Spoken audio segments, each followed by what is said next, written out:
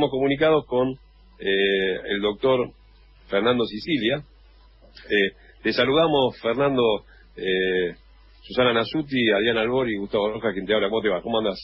¿Cómo andan? Saludos para todos y todas. Este, bueno, no, sí, presentamos la recusación, la Cámara nos hizo lugar, eh, entendió que nuestros argumentos eran válidos, pero bueno, de ahí, como decís vos, no se empezaron a, surgir distintas versiones, etcétera, etcétera.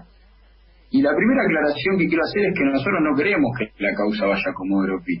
Mal podríamos nosotros querer que la causa vaya como Europi cuando, yo no puedo afirmarlo, se dice que quieren proteger a la cúpula macrista. Entonces, si hay una causa que tramita por un supuesto espionaje ilegal, ¿con quién se van a quedar? Con las bases. Entonces a mí tampoco estratégicamente me convendría. Procesalmente es discutible en cuanto a lo que es la causa del atentado a Vila, pero el juez Llorens dijo que eran objetos procesales distintos y que podía continuar en Loma de Zamora. Y quizás si se profundiza la investigación en el juzgado de Auge, quien deberá dar explicaciones también es el mismo doctor Villena, en este caso, ¿no? Yo, a mí me, me, me, produjo, cuando vino estaba este show, ¿no? De detenciones, de esto mismo que repetimos, creo que conductas cerradas de, manifestaciones públicas que he escuchado de, gente que hoy aplaude este tipo de show mediático, y lo que pudimos ver fue, fue muy poco de la causa, eso sí, te a hacer la, aclaración, pero también quiero poner énfasis en que no vi a Magdalena y Arribas ahí dando, explicaciones. Creo que eh, Graña hizo un muy buen cuadro el día viernes explicando, digo, tenía dos caminos a partir de Alan Ruiz, ¿no? Digo, quiero dejar en claro que la AFI es Arribas, Magdalani, contrainteligencia, que primero fue Dalmau Pereira, después Martín Coste, Alan Ruiz, Saez y después los demás. Y Saez, poner un nivel bajo también. Te digo, todo, nadie de esos estaba dando explicaciones. Digo, sentaron a todas las bases en, declaración indagatoria, pero no sentaron a los responsables. Ahora citan a Magdalena y Arribas. ¿No? Sí, eh, Fernando, la, cuestión es que vos habías planteado esta recusación a Villena. Pero además, eh, en el programa de ayer de, ADN que habíamos eh, nombrado ya en el programa, Tomás Méndez, cuando te hizo una pregunta con respecto, mejor dicho, a Gustavo Vera, creo que fue el, que lo dijo, que esta denuncia de tus clientes, de Araque y Melo, ¿ya se había hecho en la del hijo, en el juzgado federal del hijo? Sí, en agosto del 2019, agosto del 2019, Facundo Melo ya explicó las extorsiones que sufrió por parte de Alan Ruiz ya había explicado que le habían hecho escuchar un audio que él había tenido en una conversación privada con su cliente Lagarón en el penal de Melchor Romero. Digamos, esto no es algo nuevo, lo del alambrado. Esto es algo que ya había sido denunciado. Qué extraño que pueda dar este que quien ahora pertenece a una asociación ilícita la haya denunciado hace un año atrás. Digo, y esto no es casual, porque a mí no me gusta creer en las casualidades. Digo, la hizo en agosto del 2019 cuando todos los medios hegemónicos, inclusive yo también me la comí, que pensamos que el macrismo volvía a ganar. O sea, y creo que el doctor Lijo también pensó que el macrismo volvía a ganar y por eso no lo llamó a ratificar. Mira vos. O sea, o sea que esto de... Ahora, eh, ¿cómo entendés vos que Villena toma esta causa y la reactiva o de alguna manera empieza a investigar. Esta hiperactividad de, Villena al respecto. Mirá, es, es muy extraño, muy extraño. Es una causa que nace ya con ese testimonio, eh, ni siquiera testimonio, indagado, verdura, reactiva, allana. Eh, vuelvo a decirte, entiendo que Villena tapó los errores del pasado y trató de convertirse en un paladín de su propia ineficacia, percibió sus propios errores. Entonces yo como defensor, ¿por qué no puedo cuestionar que no me dejó presentar perito de parte? Y como dijo el señor Alan Ruiz ayer en su indagatoria, que tuvo reuniones con Villena, supuestamente por causa de narcotráfico. Ustedes saben que siempre estas causas de pinchadura de teléfono, todos son narcotráficos, siempre. Tuvo reunión con. Yo qué sé si en esos peritajes no desaparecieron mensajes entre Alan Ruiz y Villena. Entonces, digo, hay, hay muchísimos problemas y me parece algo muy sano que hayan sacado, hayan apartado a Villena de la causa. Eh, Fernando, estamos recordamos que estamos hablando con el doctor Fernando Sicilia sobre la causa de espionaje que tanto está poniendo en, vilo a, y nerviosos a muchos eh, argentinos integrantes de los medios y de las eh, de la política también, ¿no? De la oposición. Pero bueno, no importa. Yo lo que quería decir, eh, ahora está con el, el juez Auge o Auge, no sé cómo se dice exactamente, eh, existen intentos de llevarla a Comodoro ¿no? y uno de los intentos, según tengo entendido, es el del juez Ramos, por lo eh, la posible eh, comisión de un delito entre la, AFI y eh, un narco verdura, que creo que es el que declaró, ¿no? Con una bomba de trotil. lo cierto es que, según también tengo entendido, o sea, vos decime si es verdad, que eh, Ramos la tuvo esta causa durante dos años, nunca le dio bolilla y un día se la pidió Villena y él no se puso, no se puso para nada, ¿no? O sea, ese es un intento. Después hay dos intentos más o varios intentos más de llevar la causa a Comodropi. No sé qué podés contarnos un poco de, esos temas. Sí, sí, nosotros en principio no vamos a acompañar el diálogo. Por nosotros también eh, trabajamos esto con la recusación, todo lo trabajamos también con el doctor Oliván, que es el defensor de SAES. Eh, nosotros no vamos a acompañar ningún pedido que, la causa tramite ante Comodoro porque entendemos que no es tarde ya para eso. Lo que sí hay un problema técnico y que es que Magdalani y Arribas, digo, este es un entramado complejo, vamos a ponerlo en un, vamos a poner un círculo grande que es la causa principal, la 14149, y una causa chiquita que es la 5056, que es la del Patria, la que tramitaba originalmente en Auge y por la que fue detenido en su momento Alan Ruiz y por la que es citado ahora Magdalena y Arribas. Digo, más allá de la simpatía o no que nos pueda producir Magdalena y Arribas, técnicamente ellos fueron sobreseídos de un hecho similar, que fue hacerle espionaje, más allá de que fue en el Patria y ahora le agregaron el domicilio de la vicepresidenta, digo técnicamente ya fueron sobreseídos. Esto no podemos, tenemos que mantener la coherencia en que el Código Procesal y los principios constitucionales y las garantías tienen que mantenerse siempre. Si ya fue sobreseído, ya fue sobreseído. Ahora, me parece que una, estuvo apresurada y debería haberlo llamado indagatoria por este contexto general de la causa del círculo grande, digamos. Ahora, Fernando, eh, y si ocurre que ese, ese sobreseimiento, eh, tanto a Macrani como a Rivas, se produce por una falsificación de un documento. No se tiene que volver atrás, no es. Eh, no se puede juzgar a la misma persona por otra, por la misma causa que en este caso fue sobreseída. Pero hay serias dudas de que lo que haya hecho el, juzgado lo haya fundado en un hecho, eh, digamos, eh, verídico, verosímil.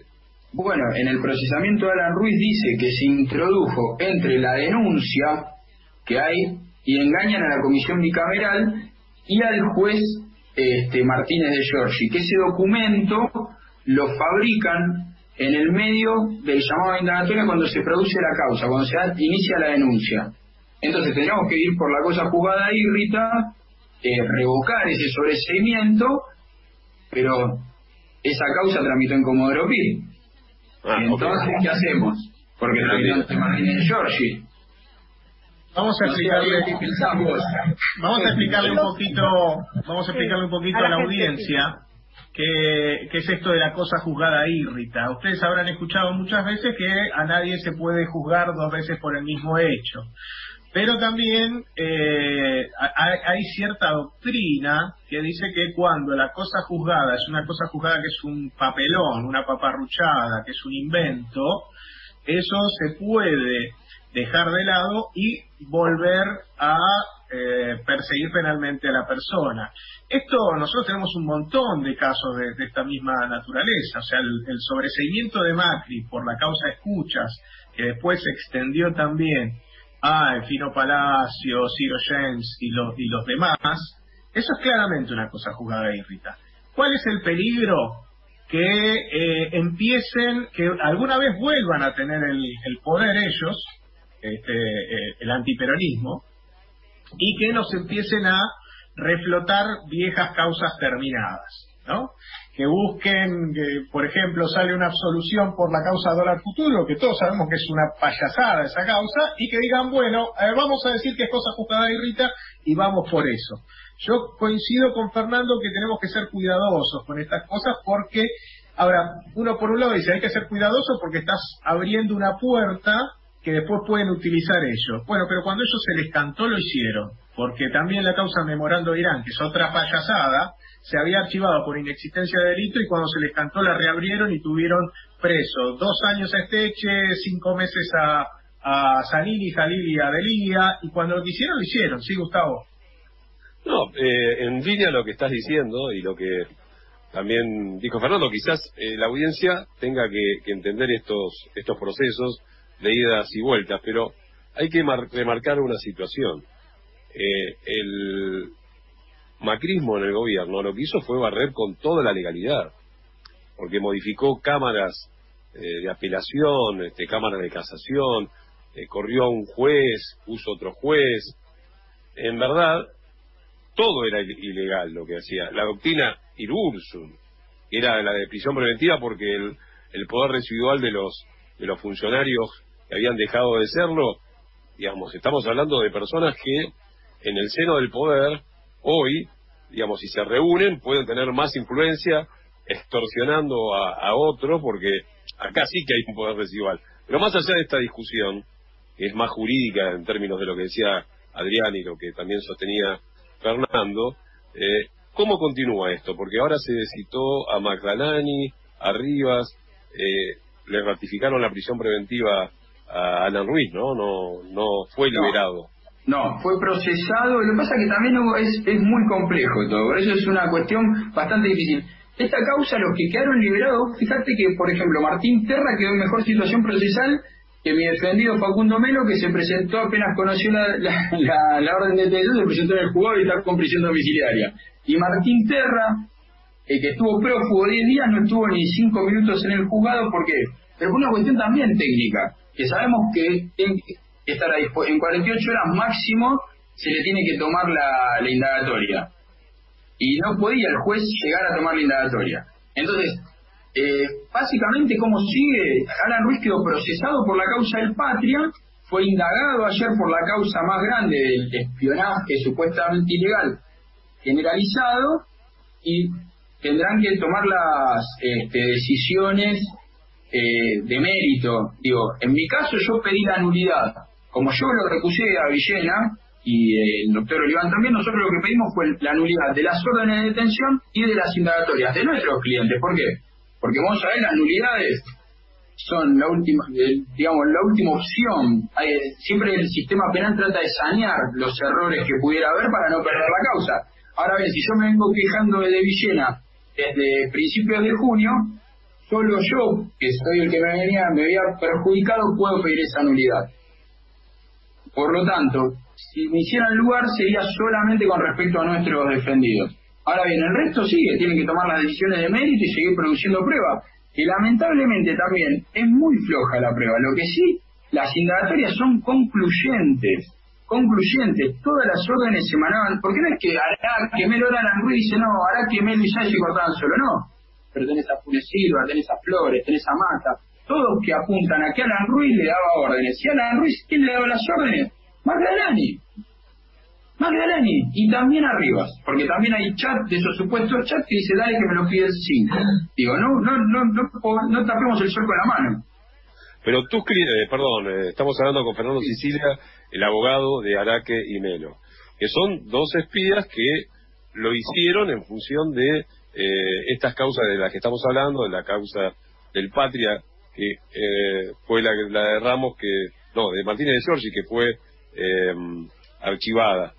¿Y en qué lugar quedan estos dos agentes de la, de la policía de la ciudad? O sea, ¿en qué situación, eh, en este sentido te lo pregunto, vos nos dijiste en la, primera entrevista ya hace tres programas que ibas a ir hacia arriba porque, digamos, la cuestión era que la responsabilidad y las órdenes la dieron a Rivas y Magdalani o, o Alan Ruiz. ¿Y cómo quedan? ¿En qué situación? ¿En qué los favorece y en qué no los no los perjudica, por, por decirlo de alguna manera. A ver, voy a tratar de hacerlo lo más fácil que pueda. Eh, en lo que es la teoría del delito, en lo que llamamos el funcionalismo, hay un principio de confianza. Vos cuando vas manejando crees que el de al lado no va a ir ni borracho, ni drogado, ni va, ni va a exceder la velocidad. Entonces vos confías en que el otro va a hacer la cosa bien. Entonces, tanto en la ley de inteligencia como en la ley de policía, porque acordémonos que estos muchachos no pasaron por la escuela de inteligencia, se reputan, todas las órdenes de un superior se reputan legales, salvo que sean manifiestamente ilegales.